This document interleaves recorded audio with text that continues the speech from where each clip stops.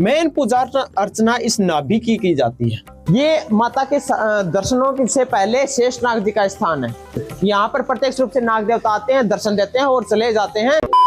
किसी माता बहन को कोई संतान नहीं होती तो संतान प्राप्ति का माता के दल की मान्यता है। शेष नाग के दर्शन हो सकते हैं और इनको वही हुए बहुत मोटे से दिखे थे इनको बहुत ही ज़्यादा मोटे से। इक्यावन शक्तिपीठों में से एक मंदिर है।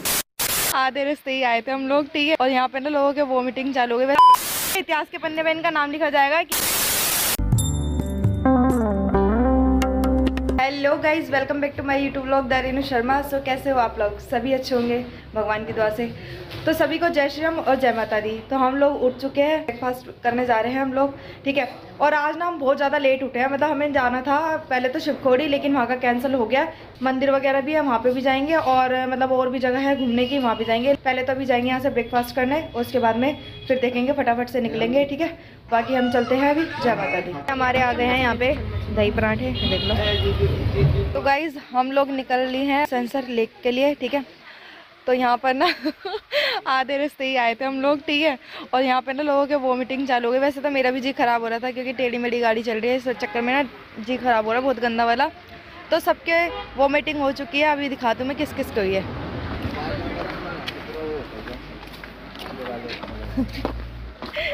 पंकज भाई बच गए अभी इन्हें नहीं हुई है नहीं मेरे को नहीं सोमित भाई आगे बैठ के भी हो गई इन्हें। इसके भी हो गई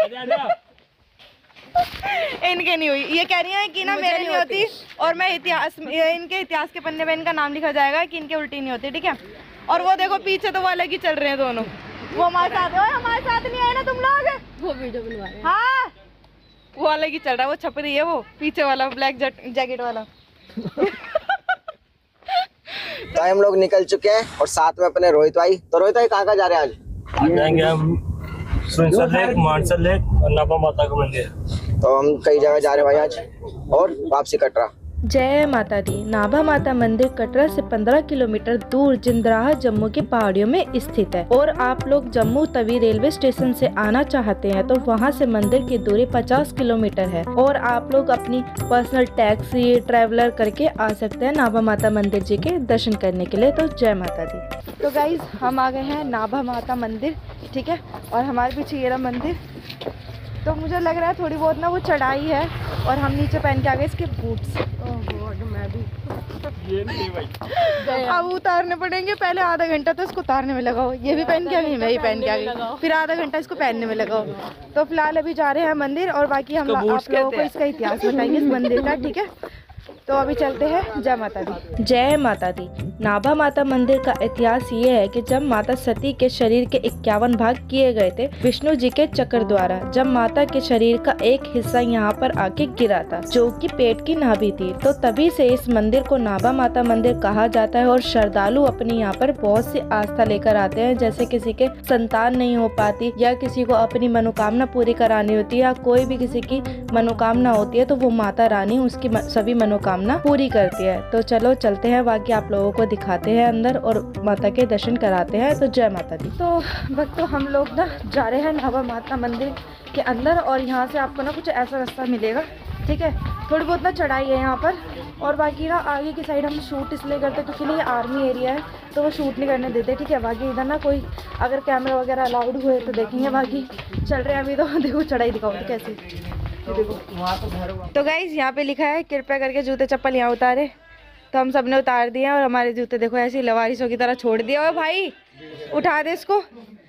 लवारिसों की तरह छोड़ दिए। तो गाइज़ चलते हैं अब इधर की ओर ठीक है? मंदिर जाने का रास्ता इधर से है।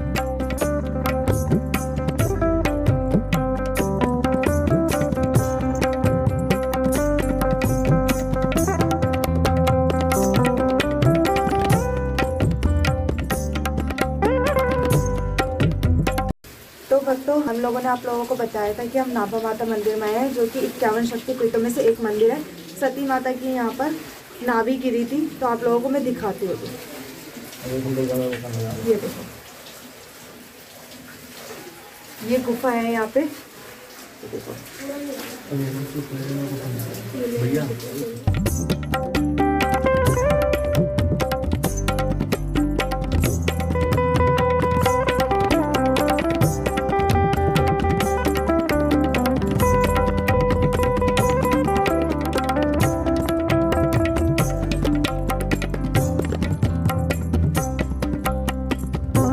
जय माता दी। आपका नाभा माता प्राचीन काल मंदिर में आपका हार्दिक सुस्वागत है। आइए, हम आपको नाभा माता मंदिर के बारे में पूरा विस्तृत जानकारी देंगे, इधर के बारे में बताएँगे।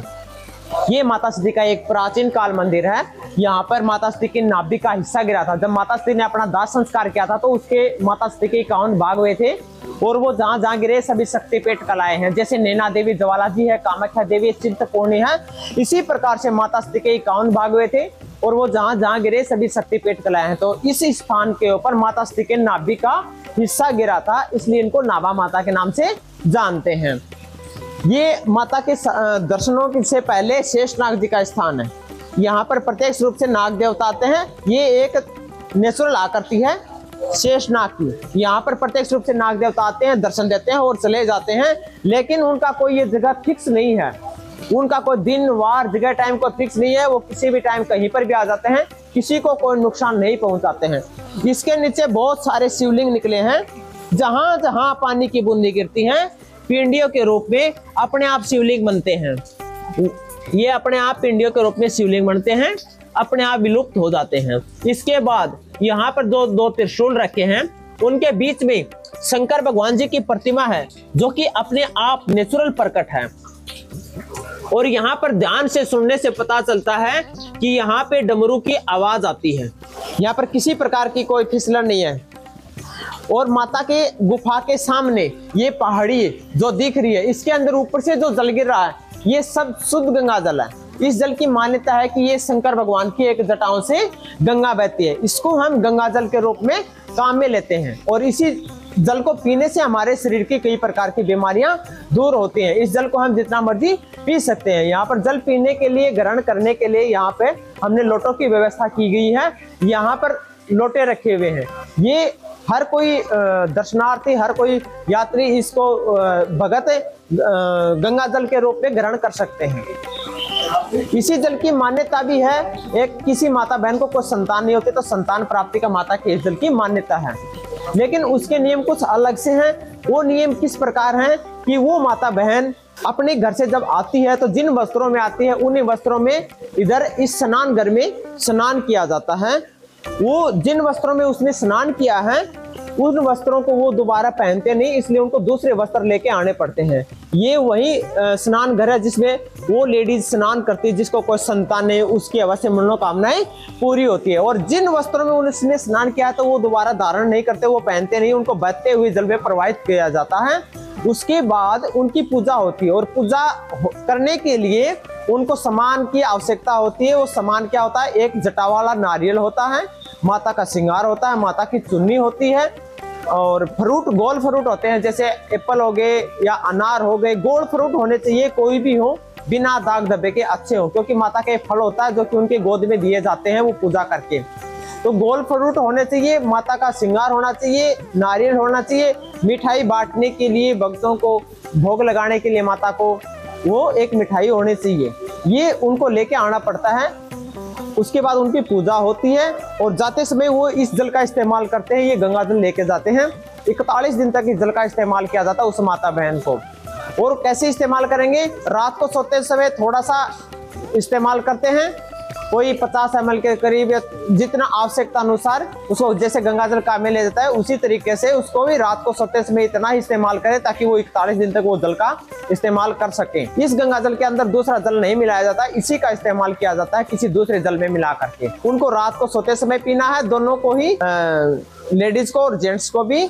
और सुबह उठ करके खाली पेट स्नान किया जाता है। स्नान करने के लिए जब उस बाकेट के अंदर पहले गंगा जल डाला जाता है, फिर उसके अंदर और जल डाल करके उससे स्नान किया जाता है दोनों को ही, लेडीज़ और जेंट्स को भी। और स्नान करने के बाद खाली पेट उसको, उनको पीना भी पड़ता है दोनों को, लेडीज़ और जेंट्स को। तो तीन बार इस्तेमाल किया जाता है, रात को सोते समय, सुबह स्नान करते समय और स्नान करने के बाद खाली पेट किया जाता है। ये इस जल की मान्यता है, जो की एक शंकर भगवान की जटाओं से जो गंगा जल बहता है, इस जल की मान्यता है। इसके आगे फिर हम गुफा के अंदर जाएँगे तो गुफा के अंदर हमें नाभा माता के दर्शन होंगे। ये सब यहाँ पर नेचुरल आकृतियाँ बनती हैं? ये एक गुफा है। इस गुफा के अंदर सब नेचुरल आकृतियाँ बनती है? जैसे अमरनाथ में शिवलिंग है, इसी प्रकार से ये शिवलिंग के देखो, जैसे अमरनाथ में गुफा बनी है इसी प्रकार का ये शिवलिंग बना हुआ है है ना? पूरा शिवलिंग ऐसे बना हुआ है। कहीं गणेश जी की प्रतिमा बनती है, कहीं शंकर भगवान जी की प्रतिमा बनती है। देखो जैसे ये शिवलिंग एक ऐसे बन गया। इसके ऊपर ये जैसे शिवलिंग बना हुआ है। इसी प्रकार से कहीं गणेश जी की प्रतिमा बन जाती है। जे, देखो ये, ऐसे जैसे गणेश जी की प्रतिमा बन गई, कहीं शंकर भगवान जी की प्रतिमा बन गई, और ये सब ऊपर का जो नेचुरल है, ये सब नेचुरल बना है। किसी का कोई प्रकार से बाहर की एक्टिविटी नहीं हुई है। इसमें सब नेचुरल है। इसके बाद जैसे ही हम गुफा के अंदर आते हैं, और ये मैन स्थान नाभा माता का है। ये सामने जो माता की प्रतिमाएँ हैं, ये माता का ध्यान करने के लिए प्रतिमाएँ हैं, ये दुर्गा माता की, शेरा माता की, ये माता का ध्यान करने के लिए है। ये जो पिंडियाँ हैं, ये भी माता का ध्यान करने के लिए है। ये इस नाभि के दाएँ और बाएँ साइड में दोनों जगह पिंडियाँ हैं, सामने माता की प्रतिमा है, ये माता का ध्यान करने के लिए है। मेन पूजा अर्चना इस नाभि की की जाती है। यही मैन स्थान नाभा माता के नाम से कहलाता है। इस नाभि की गहराई का पता नहीं चलता कि ये कितनी गहरी है, कितनी नहीं, और ना हम इसका पता लगा सकते हैं। क्योंकि इसी की पूजा अर्चना की जाती है और माता के शक्ति का कोई पता आज तक कोई नहीं लगा सका और ना ही कोई लगा सकता, क्योंकि उनकी महिमा एक अपरंपार महिमा है। हम लोग आते हैं दर्शन करने के लिए और इसी माता का दर्शन करके हमारी विभिन्न प्रकार की मनोकामनाएँ पूरी होती है। खासकर उस माता बहन की ज़रूर मनोकामनाएँ पूरी होती है, जिसको कोई संतान नहीं हो, उसकी ज़रूर मनोकामनाएँ माता रानी पूरी करती है, उनकी ज़रूर गोद भरती है। बाकी तो हर किसी की, हर प्रकार की मनोकामनाएँ भी पूरी करती है, जो नाभा माता में, जो अपनी आस्था रखता है, अपनी अरदास करता है, विनती करता है और माता का ध्यान करता है, विश्वास करता है, उसकी प्रत्येक मनोकामनाएँ पूरी होती है। यहाँ पर भारत के विभिन्न राज्यों से दर्शनार्थी आते हैं, दर्शन करते हैं और माँ का आशीर्वाद पाते हैं। प्रेम से बोलो नाभा माता की जय। जय। तो यहाँ पर ये देखो पूरा मंदिर का ना स्ट्रक्चर बना रखा है जैसे मंदिर यहाँ पे कैसे कैसे बना था और पहले कैसा था और बाद में कैसा था बिफोर आफ्टर तो पहले बिफोर में ऐसा था जैसे कि आप लोग देख रहे हैं यहाँ पे और आफ्टर में ऐसा हुआ जो कि आप लोगों को ये मूर्तियाँ दिख रही है। यहाँ पे ये देखो पूरी मूर्ति बना रखी है ये देखो आप ठीक है? और जब ये पहले ऐसा बन रहा था यहाँ पे ये देखो और उसके बाद में ये ऐसा बन गया ठीक है? ऐसा बनाया गया इसको जैसे आप लोगों को मैंने दिखाया था, ये रेड कलर की शेड लगी हुई थी यहाँ पर पूरी, ठीक है? उसके बाद में यहाँ से ये बिफोर में ऐसा था पहले और आफ्टर में इसको ऐसा कर दिया कवर करके पूरा जाल से, ठीक है? और यहाँ पर भी ये इक्यावन शक्तिपीठों के जो मैंने आप लोगों को बताया था, ऐसे लगे हुए हैं यहाँ पे। और ये बी फोर में ऐसे थे और आफ्टर में ऐसे कर दिए, ये देखो आप लोग।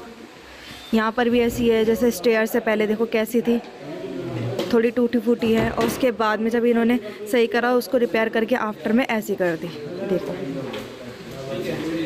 और बाकी आप लोगों को यहाँ पे देखो, काली माता और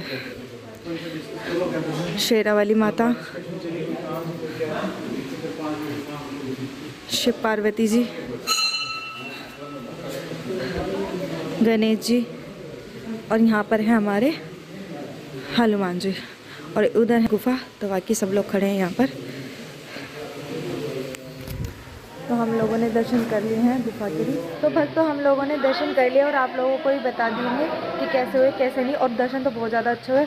और ना हमारे भाइयों के ना नाग देवता के भी दर्शन हो गए थे, नौडी के और शोभित भाई के और पंकज भाई के। लेकिन हम लड़कियों में से किसी को नहीं दिखे, क्योंकि हम ना डर जाते इसलिए उन लोगों को दिखे हमारे नहीं हुए। अब वो होता है ना, जिनको दर्शन देने होता है, वो दे ही देते हैं। और जिनको नहीं देना होता, चाहे वो कितनी भी कोशिश कर लो, उनको दर्शन नहीं दे पाते, ठीक है?